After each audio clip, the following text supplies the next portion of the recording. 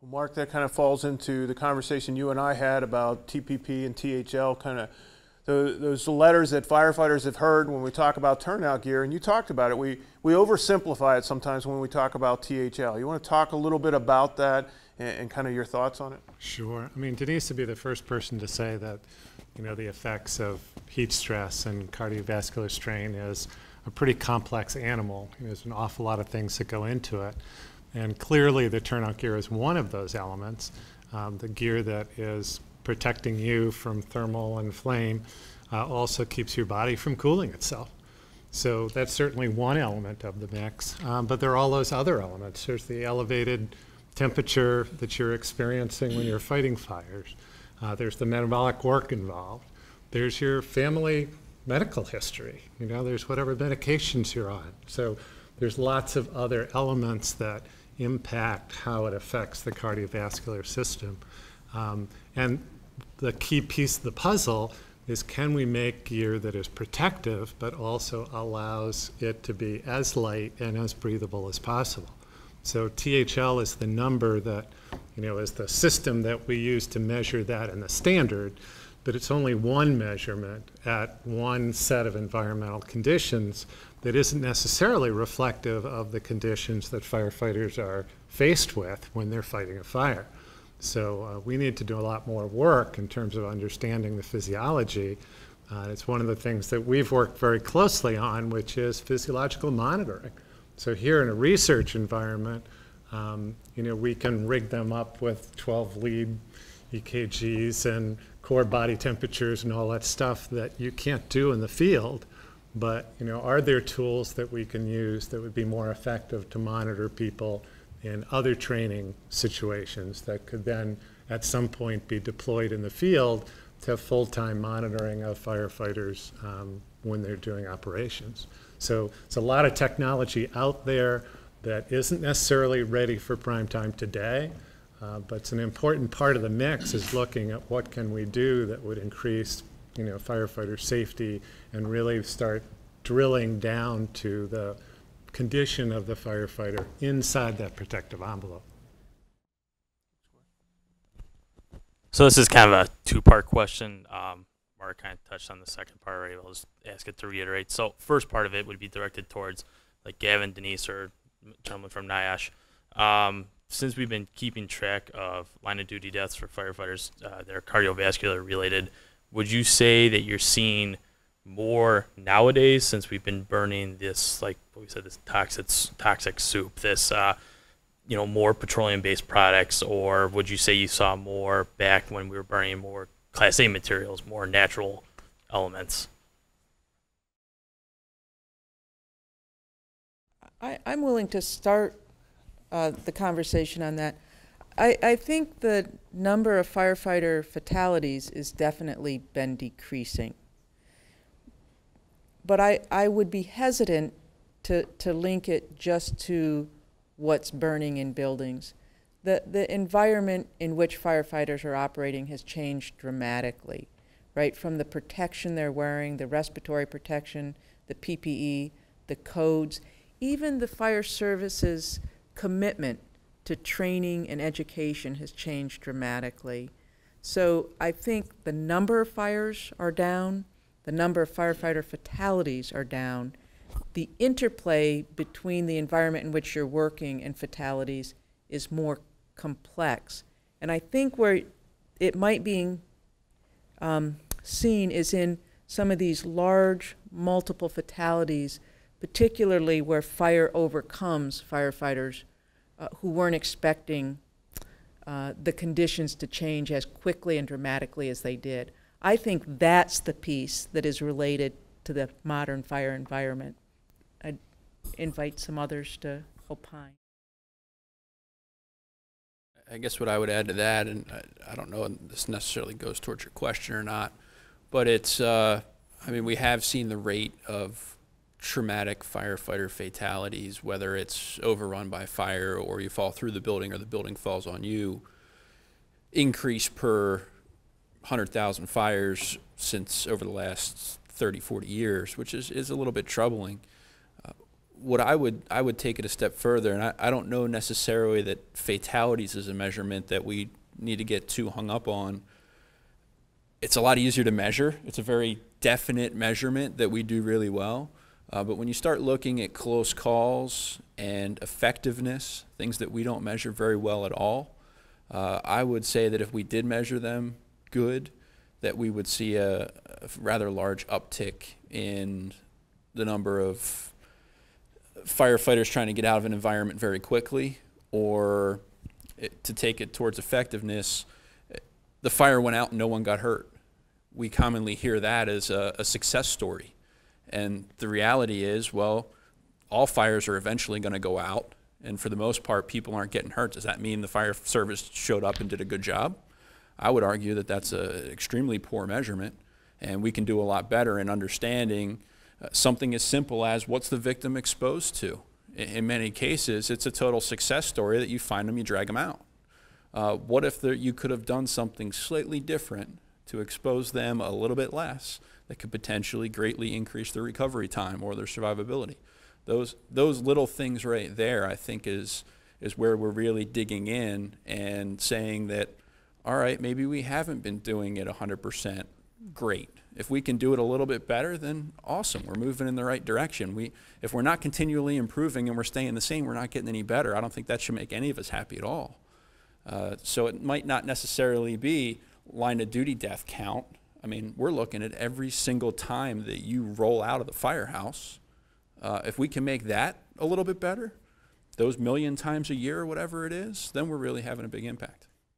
I just want to be the one dissenting voice up here a little bit in partiality. Um, the old adage, do we kill them now or do we kill them later, has never been truer than today of what we're exposing our members to. And I don't think we truly know what we have is a line of duty death out there.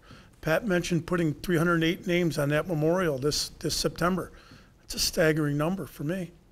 But that's only the ones that we know of that have been under presumptive laws. How many more firefighters are out there are dying from exposures on this job that we're not even calculating in? And I, so I don't know if we truly know the numbers. But again, to Steve's point, I, I don't want to get so tied into fatalities because injuries are an incredible impact on our on our service. When we talk 80,000 injuries a year, we're not even encapsulating the exposures in there. So studies like this start to help us paint that picture, and start to gain some knowledge so we can build on this and maybe get a truer picture of what how the fire service is being impacted. Let me let me jump in for a second because we know the traumatic line of duty deaths. Those are the ones that capture everybody's attention, their immediate attention, and oftentimes lead to very quick action and changes. Backing up a little bit, there is one thing that is becoming increasingly clear: is we're having more line of duty deaths 24 hours after a fire or post fire is, and I'm not asking you to predict the outcome of the research, but Kenny, Denise, uh, Gavin, um, do you do you suspect we're going to find anything there that is going to show up, whether it be cardiac strain or chemical exposure, that's going to be related to uh, a line of duty death post fireground operations? Well, I appreciate the question, Tim, because we do know from prior research that firefighters are more likely, are much more likely to suffer a sudden cardiac event following strenuous firefighting activity. And that's the work of Dr. Kales, has shown a firefighter is 10 to 100 times more likely to suffer a sudden cardiac event following firefighting activity than during station work. So it really brings us to the question what is it about firefighting that's triggering the event? And that's a complex question. First thing we need to know is that firefighting does not trigger a sudden cardiac event in people who are healthy. So it's some complex interaction between underlying disease and the cardiovascular strain of fighting a fire. And that's precisely one of the things we're trying to look at. And briefly on the physiology, briefly, I promise. We're, we're looking at the EKG, the electrical activity of the heart. We're looking at the vessels, the stiffness of the vessels, and the potential for ischemic changes. And we're also looking at the blood and the clotting potential because it is looking at those mechanisms that we think is going to help us understand what's causing the cardiovascular events in the period following firefighting activity, and also looking at that important period we know from the general population, as well as from firefighting studies, that there is an increased risk following strenuous work. So in this particular study, it will be the first that will monitor firefighters for 12 hours after firefighting. And I want to thank the participants again, because having firefighters sit around for 12 hours has not been easy, but they've all been willing to do it. Yeah, if I can follow up on that really quick. One of the, um, I I would say, key phrases that has come out of this project and something that, that we're, we're, we're talking quite regularly on is, is what does it take to put the firefighter back in service? Uh, it, it's an analogy that we're starting to draw. We know what it takes to put a piece of apparatus back in service, right? You get done with a job, you clean the tools, you put them back away, you sharpen whatever you need, you replace what was broken. You know what it takes to put an apparatus back in service. In fact, probably all of us, in Proby School or Firefighter Basic or whatever it was, were trained to put the apparatus back in service.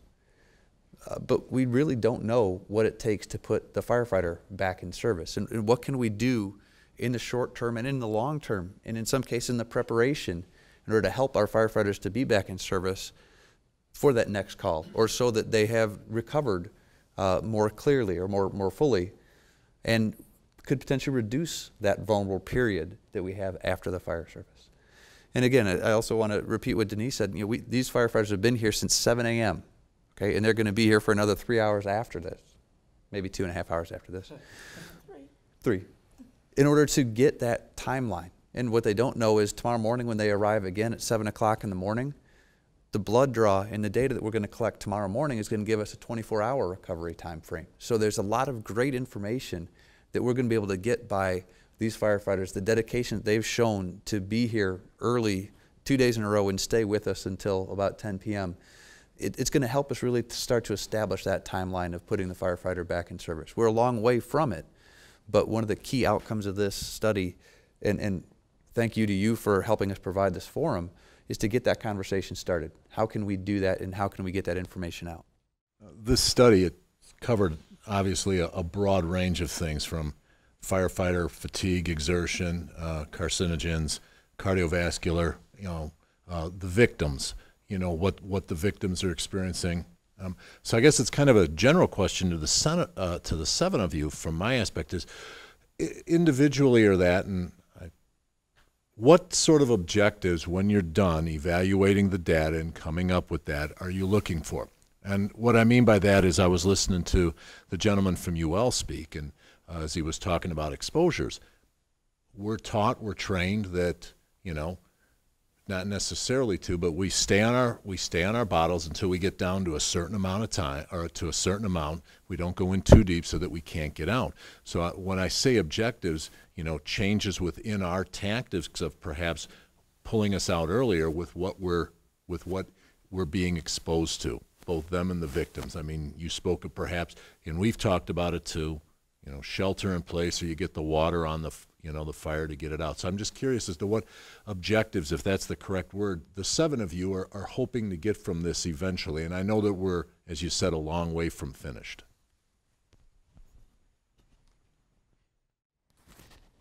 So we're we're going to look at our component really hard as as far as how how the fire environment is impacted as you interact with it. So we're looking at what happens when closed doors become open, whether it's the front door, whether it's bedrooms. Uh, what are the victims exposed to? What are the firefighters exposed to from a heat and gas concentration standpoint? And, and the thing that has me so excited is that that's the world I live in. So I am so used to looking at that. Where the value is going to come from is when I start intersecting my data with, with Gavin's data, with Denise's data, with Kenny's data. We might see things that we didn't even anticipate seeing. Uh, so there's a number of things. We kind of go into this with some hypotheses, which is the, the fun part of science, and, and how we designed the, the series of experiments the way it is. But there's a, a number of outcomes here that I think that we're all going to be surprised with because I, I don't think we've run a study yet where we haven't been surprised by some of the outcomes. And in this case, I think it's going to be the, the crossing of, of data that's never been crossed before. So I think that that's, that's going to take us uh, to some interesting places that will probably lead to other questions that will lead to more research. Uh, but you got to start somewhere. and uh, this is uh, really going down that down that path.